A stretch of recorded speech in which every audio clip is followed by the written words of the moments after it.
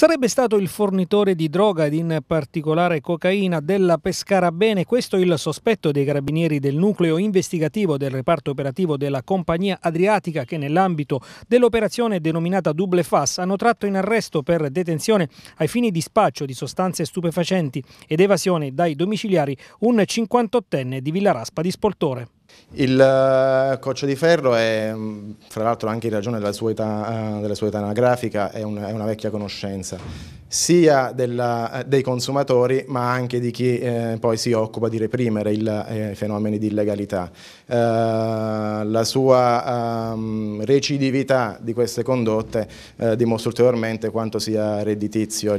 l'operare in questo mercato. È ovvio, chi l'assuntore di stupefacenti che magari eh, ritiene di essere nella parte sana della società, nella parte buona della società, eh, non fa altro che attirare interessi criminali di un certo livello a casa propria.